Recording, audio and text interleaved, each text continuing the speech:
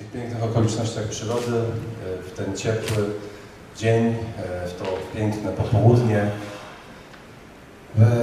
We, wtorek o godzinie 16.34 chciałbym Państwa serdecznie przywitać w Planecie 11 w Bibliotece Multimedialnej Filii Miejskiej Biblioteki Publicznej w Olsztynie. Witam Państwa serdecznie. Dzisiaj spotykamy się tutaj, e, żeby wziąć udział w wernisażu chociaż może bardziej takie adekwatne słowo to finisaż, bo to tak naprawdę już końcówka e, tej wystawy, którą możemy oglądać na e, stelażach tutaj e, po mojej prawej stronie. Są tam zdjęcia z podróży, są zdjęcia, które przygotowała dla nas autorka, która dzisiaj jest z nami, Krystyna Joanna Świecińska. Witamy serdecznie. E, wystawa przez cały wrzesień była mm, dostępna, można ją oglądać. E, to zresztą nasze kolejne spotkanie, e, nie pierwsze, bo w tym roku mieliśmy też spotkanie podróżnicze na temat Maroka, więc Krystyna jest u nas już któryś raz, gościmy często. Mam nadzieję, że nie ostatni. Też mamy nadzieję cieszymy się oczywiście bardzo, że możemy z Tobą się spotykać, że możemy oglądać swoje zdjęcia i w różnych też e, jakby odsłonach, bo było spotkanie podróżnicze, a dzisiaj też podróżnicze, ale też fotograficzne, ponieważ jak wspomniałem, mamy tutaj zdjęcia z Twoich podróży, których e, z tego co czytałem mm, w oficjalnej informacji na temat tej wystawy, e, w kraju, który odwiedziłaś było 44. 45. Tak. 45. Kuwait tydzień temu. Czyli 45, 45 krajów odwiedzonych, e, wiele wspomnień, wiele opowieści, które tutaj myślę za moment usłyszymy, ponieważ e, za moment już przekażę tutaj mikrofon i jak Państwo widzą jest ekran już przygotowany. Są te zdjęcia tutaj, które też są tam, czyli to są te same co na, na wystawie, ale tutaj na dużym ekranie i za moment o zdjęciach będzie trochę opowieści, ciekawostek. Oczywiście Państwo, jeżeli mają ochotę, zachęcam do tego, żeby też zadać jakieś pytanie, a potem oczywiście jeszcze zapraszamy na drobny poczęstunek. Więc ja w tym momencie już tutaj oddaję głos. Dziękuję bardzo, życzę e, wspaniałego e, popołudnia i przekazuję głos jeszcze raz, przypomnę komu, Krystyna Joanna Świdzińska.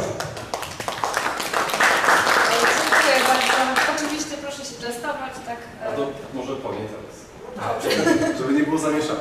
Dobrze. E, ja może usiądę, żeby gdzieś nie wędrowała, zaraz nie będzie kusić. E, przede wszystkim dziękuję Planecie za e, spotkanie, za możliwość wernisażu. I tak się zastanawiałam, o czym będę opowiadać. No z reguły jest tak, że biorę jakieś jeden, dwa kraje, opowiadam co się Przepraszam bardzo, czy mogłaby Pani bliżej troszkę Oczywiście. Dziękuję. E, wtedy jakoś tak opowiadam o jednym, dwóch krajach, co tam ciekawego e, widziałam, pokazuję filmiki. E, a tym razem właśnie opowiem w ogóle skąd się wziął cały ten pomysł jakby. I też o selekcji zdjęć, bo tak sobie parę lat temu myślałam, że fajnie by było zrobić sobie jakąś taką postawę na 30 krajów.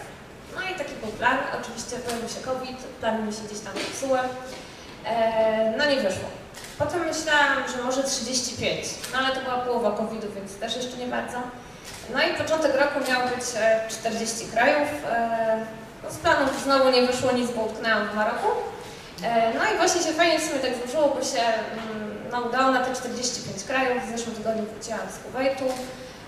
Kraju, który jest no, mało popularny turystycznie i generalnie każdy się pyta, po co tam jedziesz i ja mówię, no bo nie znam nikogo, kto tam był. Taki był motyw przewodni. E, ale muszę też powiedzieć, że wbrew pozorom fajnie czasami właśnie pojechać nie mając takiego planu. Bo zawsze jest tak, że mamy jakąś taką listę e, miejsc, które chcę zobaczyć, e, a tutaj nie miałam żadnych. Wiedziałam, że tylko są kuwajskie wieże jako główna atrakcja i nie było nic więcej. I muszę powiedzieć, że to było właśnie takie fajne. Taka trochę inna wyprawa i no, wróciłam zadowolona. Jakby ktoś chciał posłuchać, to w Stawigudzie 10 października będzie okazja. E, no ale teraz wracając jakby już do tego e, samego wernisażu.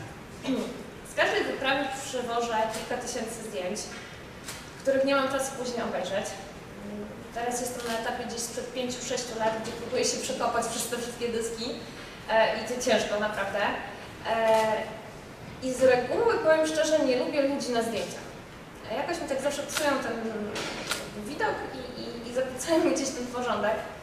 E, I paradoksalnie tym razem postanowiłam właśnie wykorzystać to, tak, że e, zrobić coś innego. E, Przejrzałam sobie te zdjęcia. Generalnie to było tak, że starałam się wybrać jedno zdjęcie z każdego kraju, które mi się spodoba, i potem z tych 45 zrobić redukcję. Generalnie zrobiłam redukcję, aczkolwiek Szwecja jest dwa razy, to od razu mówię. E, Jedno zdjęcie jest bez ludzi i też powiem za chwilę dlaczego. E, No tak jak mówiłam, kolejność zupełnie przypadkowa tutaj jest, e, ale też troszeczkę opowiem jakby o tych podróżach, bo te podróże były różne. Absolutnie wszystkim były. Pociągiem, samolotem, promem, stopem, e, pieszo, e, autem przez całe Bałkany, no generalnie dużo tego było. E, tak naprawdę to były setki tysięcy kilometrów, e, wiele godzin, które gdzieś tam spędziłam w podróży. No choćby ten Kuwait to było tylko 5 godzin samolotem, 9 godzin pociągiem i 7 godzin autokarem, czyli doba w jedną stronę. E, No ale to są generalnie wszystko liczby, tak samo jak te kraje, gdzie gdzieś po tym 40, w ogóle założenie było takie, żeby e, odwiedzić 40 krajów przed 40. E, Dalej jestem przy 40, e, krajów się udało zrobić więcej, ale generalnie już tak jakby nie, nie liczę tego, tak? To każdy kolejny kraj to już jest jakby jakaś taka wartość dodana, ale już chyba tak mniej zależy na liczbie tego. No fajnie by było kiedyś mieć setkę tych krajów, mam nadzieję, że się kiedyś uda. E, Generalnie bym bardzo się postarała, w sensie czasowo to pewnie bym mi 50 miała w tym roku. E, Ale tak jak mówię, na pewno będą Czechy, na pewno będzie jeszcze Jordania. Na Czechy to już nie wiem po raz który, chyba 15, e, ale lubię wracać. Mm, Ale generalnie już wracając jakby do, do głównego mm, zamierzenia, co chciałam Państwu opowiedzieć. E, Ja będę opowiadała, co jest na tych zdjęciach, żadnych historii zabytków, bo to sobie można jakby tam zawsze znaleźć. E, Ale bardziej no, chciałabym opowiedzieć z tego, co ja pamiętam po tych podróżach. Bo tak jak mówię, jest to e, no, wiele lat. E, Liczyłam ostatnio, że dokładnie 25 lat temu po raz pierwszy byłam za granicą i był to Lwów. Po latach wróciłam do Lwowa ponownie, na Ukrainie to byłam też kilka razy. Mam nadzieję, że jak się wojna skończy, to znowu wrócę, bo jeszcze jest kilka miejsc, gdzie bym chciała zobaczyć. Ale generalnie, skoro jest pierwsza tutaj Bośnia, to mm, parę słów o Bośni. E, Do Bośni trochę trafiłam przypadkowo, mm, bo to była taka podróż w 2018 roku. E, Nie, źle w 2017 roku to była. E, Głównym takim zamierzeniem tej całej podróży miała być e, Rumunia. Rumunia była takim. E. E, Rumunia miała być takim głównym celem wtedy i zacznę od tej Rumunii, o w ogóle skąd się ta Rumunia wzięła. E, Miałam się wybrać i miałam w zasadzie takie trzy miejsca. Miała być Hunedoara, Bran i Bukareszt. I tak się ta podróż miała zacząć. E, A wbrew pozorom przejechałam wtedy Rumunię wzdłuż, wszerz, poprzek, dookoła i jeszcze drugi raz musiałam wracać, bo współtowarzysz podróży zapomniał dokumentów i trzeba było z Mołdawii wracać do Rumunii. E, I generalnie to zdjęcie zrobiłam w takiej małej miejscowości e, w Bukowinie, Ciecianesti, czyli takiej polskiej, e, rumuńskiej zaliwie. E, A jak ta podróż w ogóle przez tą Rumunię wyglądała? E, To była jedna z pierwszych podróży takich samochodem, gdzie miała być to podróż niskobudżetowa, spałam w aucie bardzo często i tak naprawdę pierwszą przygodę już miałam w Sotomare. Tak się mówi tam w Rumunii, że to jest taki rumuński Manhattan. No, jakieś wieżowce e, z czasów e, Ceausescu, więc takie dosyć brzydkie, komunistyczne. W mieście nie było kompletnie nic. E, I szukałam sobie tego miejsca do noclegu, gdzie bym mogła tym autem nocować. I znalazłam taką zatoczkę. No idealne miejsce na obrzeżach miasta, oświetlone latarniami. Były jakieś tam krzaki w pobliżu, więc można się było przebrać, umyć czy cokolwiek innego. No i właśnie. Ja nie wiedziałam o co chodzi wtedy. Początki tak, tej podróżowania. E, nagle przybiega pani. Przybiega pani, mi dosłownie i coś krzyczy rumuńsku. Ja nie wiem o co chodzi. Ta pani coś dalej nie tłumaczy. Ja dalej nie wiem o co chodzi. No i w pewnym momencie do tej zatoczki, tej takiej, tak mówię, e, tak jakby przyjeżdża auto i wszystkie panie, których nie widziałam, wybiegają z tego mm, że tak powiem, i biegną. Ja się dopiero skapnęłam o co chodzi. To było moje pierwsze tutaj zetknięcie z tym. Okazało się, że te panie były w pracy, wiadomo jakiej, no i ten samochód był klient. I te panie tu zrozumiały, że ja im tutaj przyszłam konkurencję robić. Więc to były takie początki mojej podróży. No później też nie było, też się działo dużo jakby. Ale właśnie zaczęła się ta podróż taka już bez planu, bo tak jak mówię, ja byłam nastawiona na tą trasę gdzieś tam tych zamków Drakunii, a się okazało, że ta północ Rumunii była niesamowita. Robiło się fajnie, były fajne miejscowości, fajne monastery i generalnie zwiedziłam naprawdę kawał kraju, bo właśnie te Cieczenesty to trafiłam przez przypadek, jak już jechałam, ale to jeszcze była Suczawa, Góra Pomorolui, właśnie te Satomare, Braszów, Rasnów, Bukareszt, co tam jeszcze było, Woronet, Sapanta, Maramuresz, no generalnie strasznie dużo tego było. I właśnie ta miejscowość mi tak podobała, bo wszystkie te domy były pomalowane, łącznie ze sklepem, z komisariatem policji, a ta miejscowość była tak strasznie źle oznaczona. Ja szczerze mówiąc potem szukałam gdzieś tam informacji, bardzo mało znalazłam, więc takie przypadkowe właśnie odkrycie i no ten pan jest tym kapeluszem tak tutaj pasował wtedy to zdjęcie, że mówię, dobra, biorę go na tę wystawę, niech będzie. Ale teraz cofnę się do początku. No i właśnie tak jak mówiłam, ta podróż miała być w ogóle całym Rumunia, a później się okazało, że się objechało pół Europy. Bo z Rumunii pojechałam do Mołdawii i właśnie to takie zdjęcie, które było na plakacie, to było właśnie zdjęcie zrobione w Veci w Mołdawii. No i z tą Mołdawią było tak, że dojechałam do Naddniestrza. Też nie planowałam, też mnie podkusiło, że zobaczyłam, że to jest tak blisko i pomyślałam, a spróbuję, czemu nie.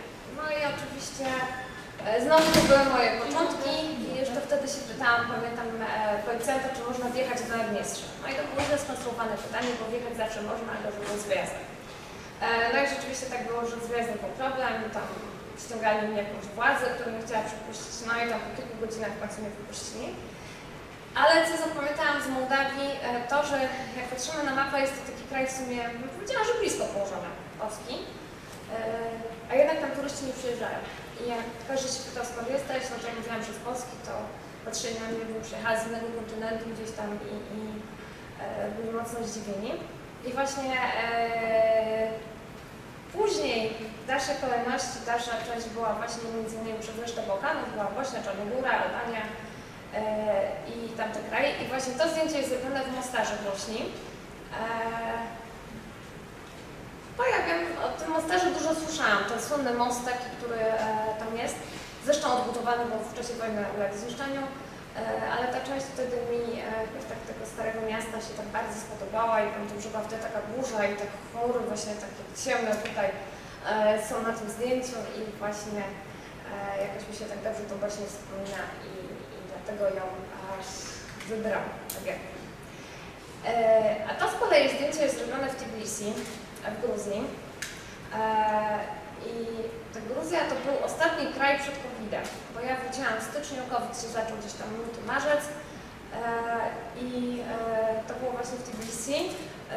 Generalnie do Gruzji się nie jeździ zimą, bo jest bardzo zimno. No ja oczywiście jakoś pojechałam. Nie ukrywam, że chciała jeszcze wrócić do Gruzji, ale latem. Batumi mi się teraz marzy, bo Batumi byłam zimą, więc było tak zimno, brzydko, ciemno, ponuro jakoś.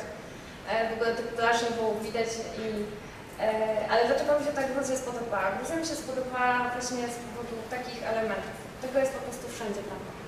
E, czy te dziwne takie budynki, czy jakieś właśnie takie krzywe latarnie, mm, pełno murali, jakiegoś street artu, no wszystko tam można spotkać.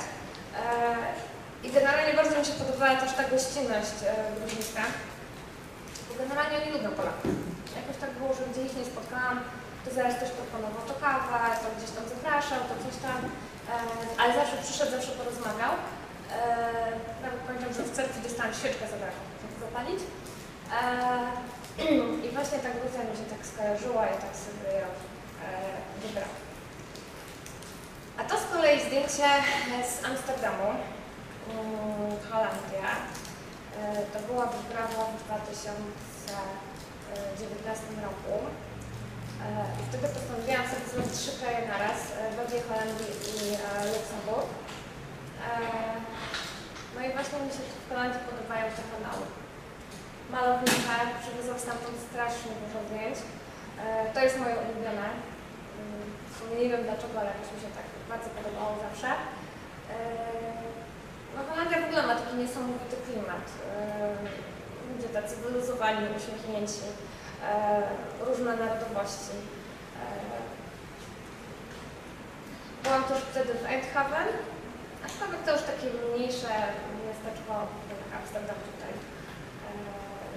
yy, z moje serce.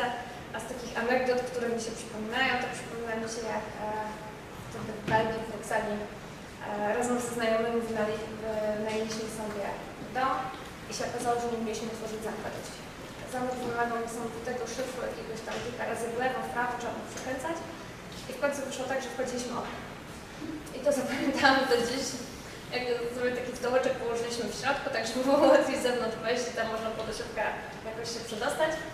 E, No i to właśnie tak mi się e, skojarzyło z tym właśnie, z tamtą. A to z kolei e, Dublin, Irlandia. Powiem tak, z tej wyprawy to przywiozłam całą masę zdjęć tych wszystkich e. One są we wszystkich kolorach, gdzieś tam na tej swojej stronie nawet zamieszczałam. E, wszystkie kolory tęczy, dosłownie. E, To mi się najbardziej podobało, bo to takie były niestandardowe. Z reguły to są jakieś takie czerwone, tak jak Temple Black, e, zielone, e, czy w kolorach ciemnych, a różowy to w zasadzie chyba tylko jeden znalazłam wtedy. I tak mi się jakoś ten różowy spodobał i nawet mi się tak jakoś tak fajnie skomponowali tutaj, postanowiłam właśnie to zdjęcie sobie wybrać. E, Irlandia mi się kojarzy z tym, że dwie noce spałam na lotnisku, jako wyprawa niskobudżetowa. E, I mają bardzo niewygodne krzesełka, takie metalowe z barierkami jeszcze, żeby nie można było się w żaden sposób położyć. E, No i dwa dni padało. Dwa dni padało i, no, typowa ich jakby pogoda, e, mimo że to było lato, no to niestety e, pogoda taka typowa ich. E, A to z kolei zdjęcie zrobiłam w Trokach, ten słynny zamek tak, pod Wilnem. Litwę robiłam samochodem dwa razy, przejechałam całą. Mm, W tamtym roku byłam właśnie e, na takiej długiej wyprawie, gdzie sobie zrobiłam Litwę, Łotwę i e, Estonię. Mm, Generalnie mi się tak jakoś podobał ten widoczek.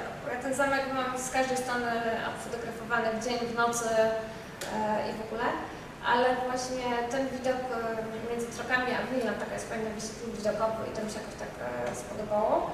E, A ogólnie Wilno, e, no to wiadomo, tak, miasto zabytków, e, Kowno z kolei e, miasto murali, zresztą moim zdaniem jakoś tak bardziej wolę Kowno, głównie chyba przez te murale, bo ciągle ich przybywa i są naprawdę fajne. E, No i też mają zamek, oczywiście taki nowy, wybudowany, e, odbudowali ruiny, więc Kowno się rozwija. Moja ulubiona plaża w Palandze, to polecam, jak ktoś kiedyś będzie, to naprawdę e, szczerze polecam. Można kilometrami iść, nie ma ani jednego człowieka, pieszczysta taka plaża. E, mają ogromne molo tam, e, no Pojpeda, słynny port.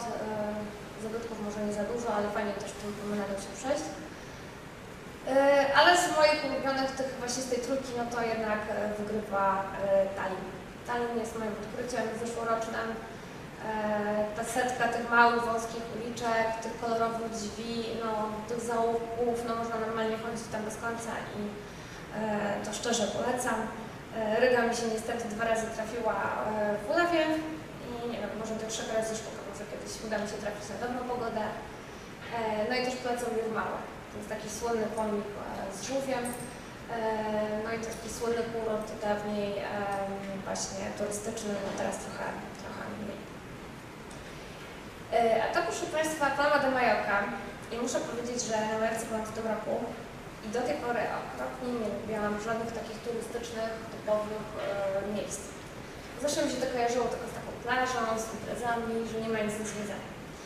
I szczerze mówiąc, na tą Majorkę jechałam właśnie z takim przeświadczeniem, no dobra, posiedzę na tej plaży, będzie ładna pogoda, e, no i pewnie nic nie zobaczę. I stała się rzecz taka no, nieprzewidywalna. E, Po prostu poszłam w miasto. Poszłam zobaczyć, co tam ciekawego jest. I nagle się okazuje, że jest jedna, druga, trzecia uliczka. I te uliczki zaczęły mi przypominać takie typowo te chorwackie takie. Z zakrętami, z jakimiś zaułkami, jakimiś podcieniami, okiennicami. E, No i właśnie to jest jedno ze zdjęć zrobione w tej e, Palmie de Majorce. E, Więc polecam. Polecam e, i akurat tam leciałam z Berlina, więc ta podróż też trochę trwała. Ym, aczkolwiek plaże oczywiście też mają fajne, ale tak jak mówię, no samo miasto naprawdę mnie zaskoczyło pozytywnie i właśnie to jest takie jedno z tych zdjęć zrobionych tam. Dużo więcej mam, jak coś tam na stronie, to zachęcam. E, a to jest Maroko. O Maroko właśnie tak jak wspom- wspominał tutaj e, Jacek, e, opowiadałam trochę wcześniej, e, jak było tutaj spotkanie. E, generalnie marzyło mi się zobaczyć taką prawdziwą pustynię. A ta pustynia też nie jest do końca taka jeszcze, e, o jakiej myślałam wtedy, bo się marzyła taka piaszczysta z wydmami. E, no ale to była taka kamienista. Ale to było moje takie pierwsze zetknięcie z pustynią, e, z wielbłądami, e, z karawaną. No tych pustyń trochę już w tym roku miałam, bo to jest taki, się śmieje rok Azji i Afryki, bo głównie te kraje jakoś tutaj się pojawiały. No i właśnie te zdjęcie zrobiłam w tej pustyni w taki złota godzina, jak to się mówi w fotografii, gdzieś tam się zbliżał ten zachód słońca. No i taki tradycyjny strój właśnie, jaki jest na e, karawanach, czyli jakaś tam jakiś turbanik na głowie i takie śmieszne wdzianko. E, No i właśnie mi się tutaj tak pan pasował, że tak powiem, w ten kadr i, i to zdjęcie e, powstało. A to z kolei e, Lizbona. E, I Lizbona to był taki mój e, tegoroczny prezent urodzinowy. E, no niestety wypadł w lutym, kiedy jest zimno, no ale e, trudno, e, ale marzyło mi się te żółte tramwaje. I e, tak jak właśnie ten COVID mm, wybuchł, to miałam w planach jechać właśnie do Portugalii wtedy, w tamtym roku. E, No ale wyszło jak wyszło, więc musiałam odczekać, no i właśnie potem się w końcu udało. E, I tę Portugalię zrobiłam na zasadzie Lizbona, Fatima, Porto. E, Trochę kombinowałam, bo miałam mało wolnego czasu, a zależało mi, żeby to zrobić jakoś tak w miarę szybko, więc w piątek poleciałam. E, W poniedziałek wróciłam. E, I właśnie te tramwaje. Te tramwaje jakoś mnie tak bardzo cieszyły w tej Lizbonie. Zrobiłam mnóstwo zdjęć, nakręciłam mnóstwo filmików e, i rzeczywiście one są naprawdę fajne. Fajne jest to, jak ten tramwaj gdzieś tak mija, mam taki nawet filmik tam nagrany, gdzie ja jestem dosłownie no, o krok od niego, bo takie wąskie te uliczki są, te tramwaje jeszcze gdzieś tam zakręcają, zakręcają, zabijają. E, no ale właśnie e, jest ten klimat. Jest ten klimat, warto każdemu polecam e, pojechać. One są takie bardzo fotogeniczne, tak bym powiedziała, tramwaje i no i tyle w zasadzie, co można mniej więcej powiedzieć. O Rumunii mówiłam. No i właśnie, to jest e, Szwecja. Mówiłam, że Szwecja będzie dwa razy. W Szwecji byłam już kilka razy, w tym roku ostatni raz byłam mm, w lipcu. E, I tym razem pojechałam z powrotem do Sztokholmu po to, żeby zobaczyć stację metra. Bo nie wiem, czy Państwo wiecie, czy nie wiecie, e, pewnie gdzieś tam widzieliście w internecie. Oni parę lat temu wprowadzili taki fajny pomysł, że pojawiły się takie kolorowe stacje metra. I one tam przedstawiają różne jakby motywy, tam jest taki motyw skalny, motyw ognia, motyw kosmosu między innymi. No mnie najbardziej się podobała ta stacja taka, gdzie jak są te schody takie z metra i tak jakby taki ogień płonął. Genialnie to wygląda na zdjęciach i właśnie sobie pojechałam zobaczyć te, te metro, też to pojeździłam. E, A to zdjęcie było zrobione, jak byłam pierwszy raz e, w Szwecji, to jest e, Perskrona. E, Generalnie ja bardzo lubię motyw latarni. E, Już nawet sobie tak kiedyś zaplanowałam, że jak będę miała trochę czasu, to pojadę sobie do Anglii. Jest taki fajny szlak latarni i sobie będę te latarnie po kolei zwiedzać. No i właśnie, na tym zdjęciu akurat nie ma żadnego motywu ludzkiego, ale bardzo mi się to zdjęcie spodobało. Też było zrobione w złotej godzinie, e, słońce zachodziło, e, ta latarnia mi tak się malowniczo wydawała, to drzewo mi się tak fajnie skomponowało i to ta ławeczka, no i e, to jest jedno z moich właśnie e, ulubionych zdjęć. A jeżeli chodzi właśnie o Szwecję, to jest zdjęcie ze Sztokholmu. E, Też mi się tak udało przypadkowo zrobić, e, co ten człowiek szedł. No ten człowiek mi się tak idealnie tutaj wkomponował jakby w ten kadr, że zrobiłam. E, Też lubię to zdjęcie, kojarzy mi się taką, z taką trochę może samotnością, e, ale takie nostalgiczne, generalnie bardzo lubię. E, Szwecja też ma bardzo fajne te uliczki, e, też można sobie tam chodzić między nimi i też fajnie to wygląda, kolorowe kamieniczki, e, więc też e, polecam. No właśnie, a to jest Turcja.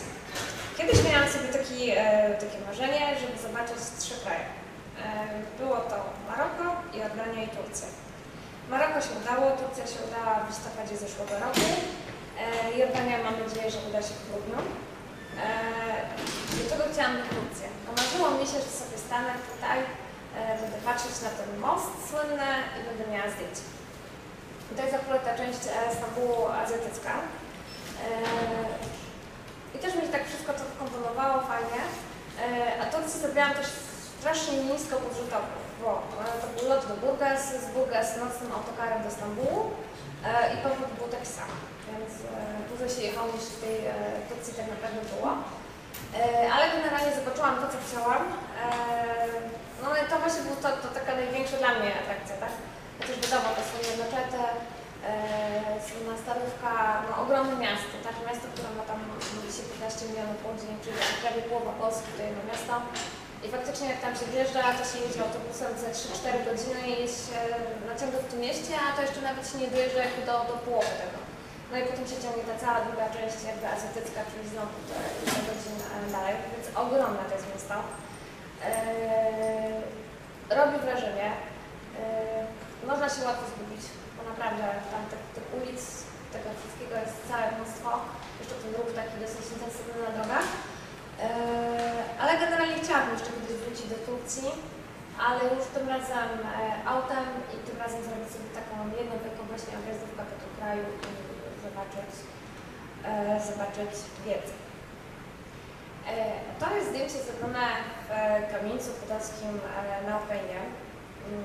Zdjęcie zrobione w 2019 roku.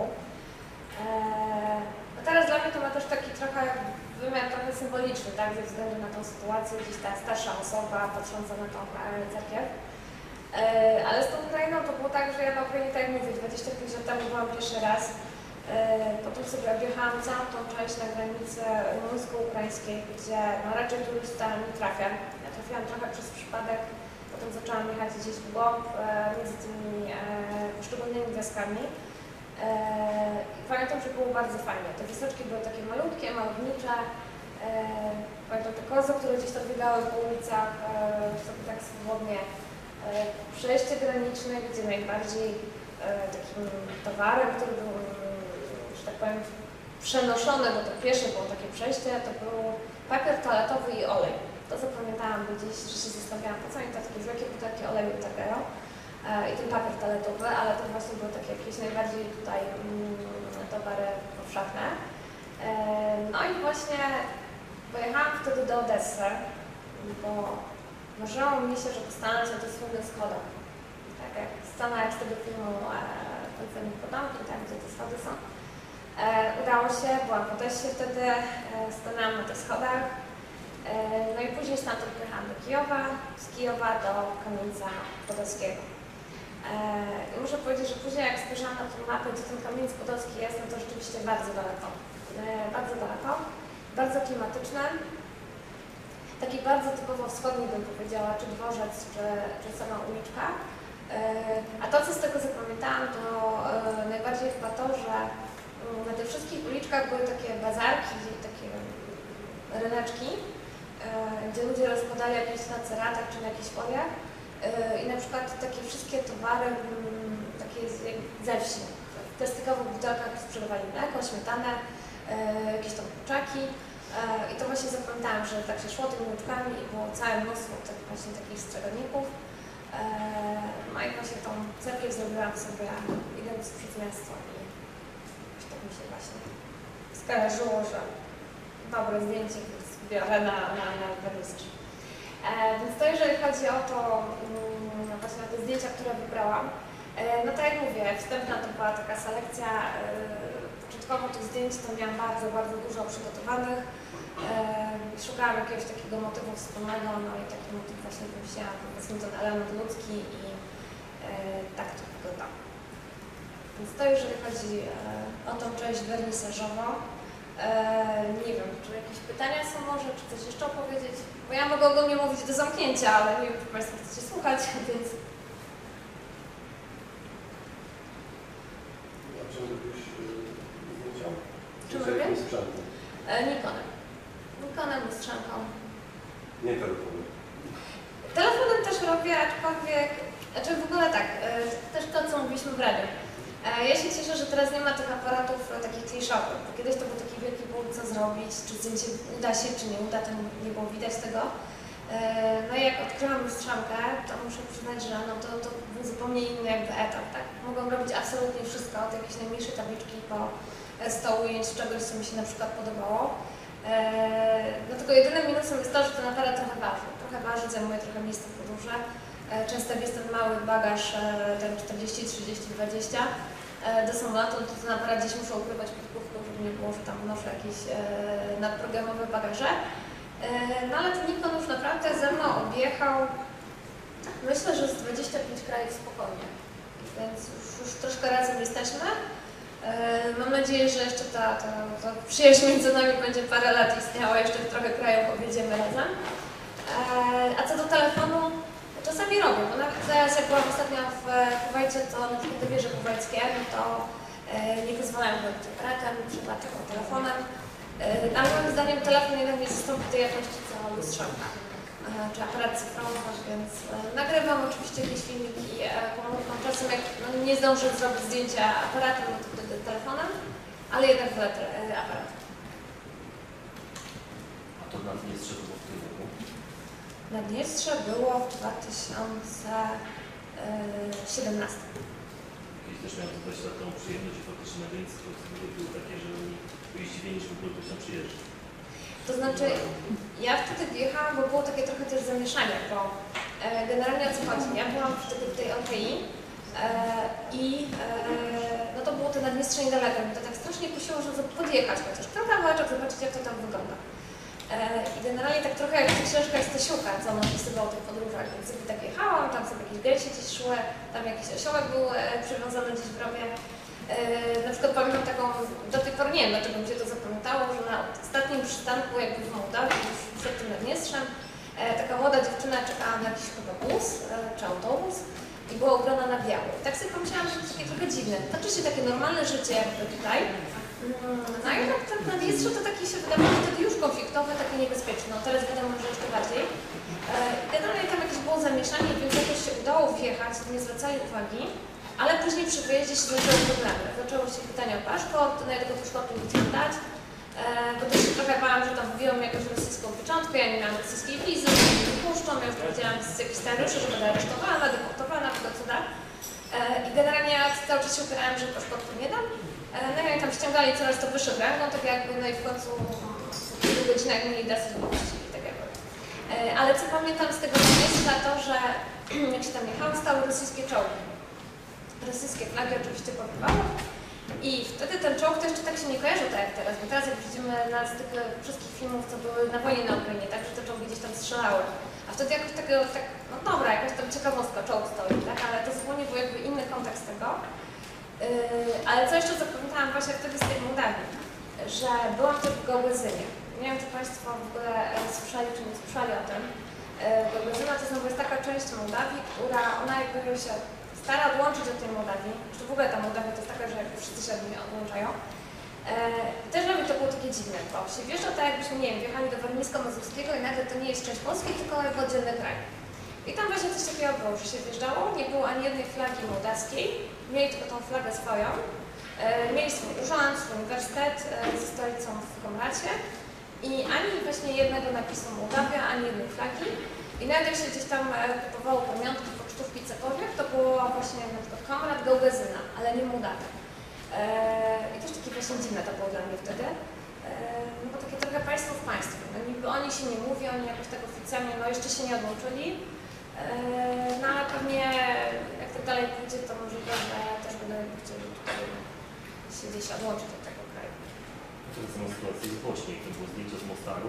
To, że są chorwackie flagi, nie bośniackie. A tak samo jest na przykład w Meczugorie. Ja byłam zdziwiona, że też właśnie wjechałam i też były... są. Jechałem, Tak. były to na górze, są, na północy Bośni są flagi serbskie, na środku są te żółto-niebieskie bośniackie, na południu są chorwackie. Tak, a, tak, a mi się jeszcze przypomina, że ja jechałam przez Bośnię, to było tak już bliżej tej gran- granicy z Czarnogórą, że też takie było miasteczko, nie pamiętam nazwy, i tam był na przykład napis Witamy w Serbii. No i potem się z tego miasteczka jakby wyjeżdżało i tam żegnamy Serbię, tak? E, I też tego właśnie nie mogłam zrozumieć, bo sobie myślałam, takie strasznie dziwne to jest u nich, ale faktycznie jak się na przykład pytałam w Meczugorie, dlaczego jest ta flaga, to nie mówili jak to, to jest Chorwacja. To nie jest Chorwacja, przecież jesteście Bośni, a no nie, my się nie czujemy właśnie. A, więc Bałkany to są też takie trochę, bym powiedziała, strasznie pomieszane, jeżeli chodzi o to i ciężko się czasem połapać, bo co innego widzimy, co innego oni mówią i... Ale wszyscy są też takie ciekawe, bym powiedziała. Ja mam takie pytanie troszkę z innej strony, e, bo w kontekście Lizbony wspomniała Pani o trzech miastach i że zwiedziła to w jeden weekend tak naprawdę. E, I chciałam zapytać, czy ma Pani jakąś taką swoją, nazwę to filozofię podróżowania, czy jest to jakoś, czy na przykład w jakichś miejscach zostaje Pani trochę na dłużej, bo jednak to jest takie bardzo szybkie i pytanie, czy jest, y, jest się wtedy w stanie zatopić w jakiś klimat tego miasta tak porządnie, w tak krótkim czasie tak naprawdę. Znaczy ja bym tak, tak jak mówiłam, no na głowie na przykład nie miałam jakichś oczekiwań, więc e, tam jakby cieszyło mnie wszystko, ale się też przekonałam, że ile bym nie była w danym miejscu i tego nie poznam. Ja tutaj mieszkam w Olsztynie no, prawie 40 lat i ciągle się łapię na tym, że gdzieś idę i sobie myślę, o nigdy tędy nie szłam, taka fajna uliczka na przykład. I e, tak właśnie jak już zaczęłam podróżować, to mm, robiłam sobie zawsze taką listę miejsc, które na pewno bym chciała zobaczyć. E, wiedziałam, co chcę w Lizbonie na przykład zobaczyć.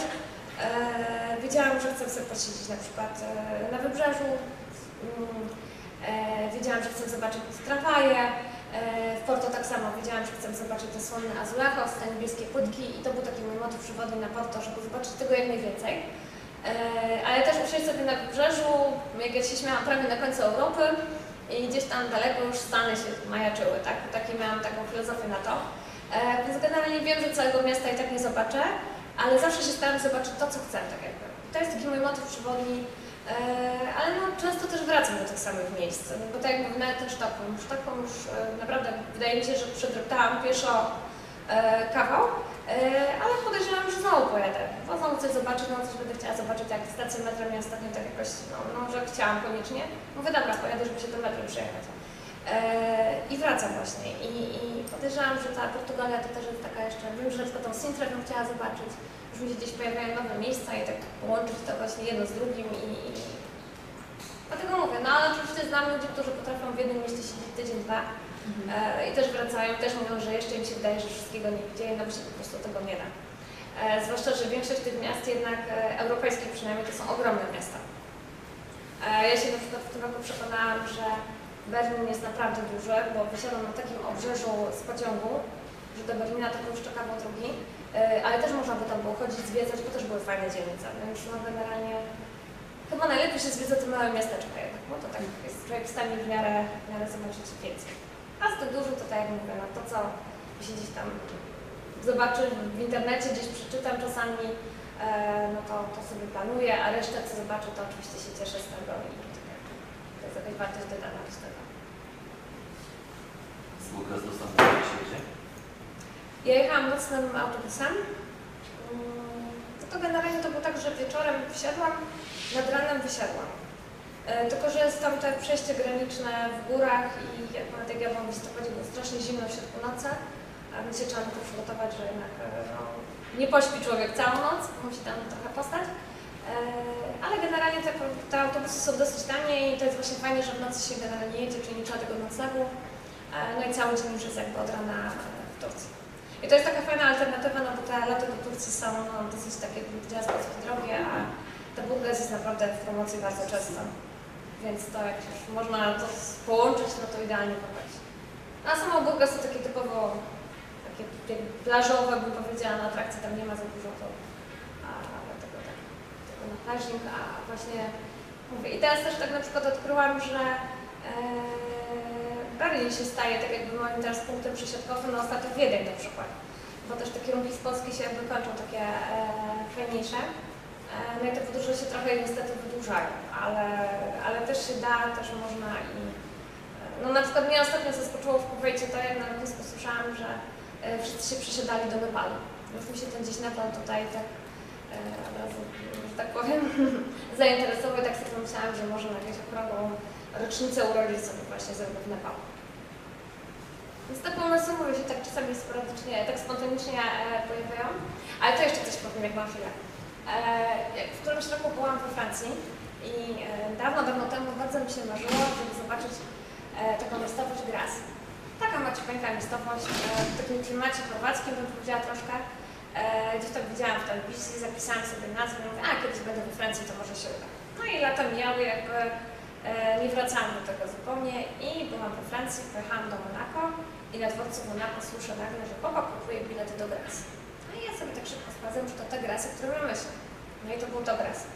E, I właśnie przypadkowo udało mi się to miasto zwiedzić, okazało się, że autobusem miejskim można było dojechać, prawda się jechało 40 przystanków, e, po prostu rekord, ta trasa autobusu to była niesamowita i to był autobus taki miejski, e, ale Gras wtedy właśnie przypadkowo zobaczyłam, więc tak znowu tam jakieś marzenie odhaczone i, i mówię, kompletnie bez planu, nie planowałam i się udało. Więc tak to czasem wygląda z tym planowaniem.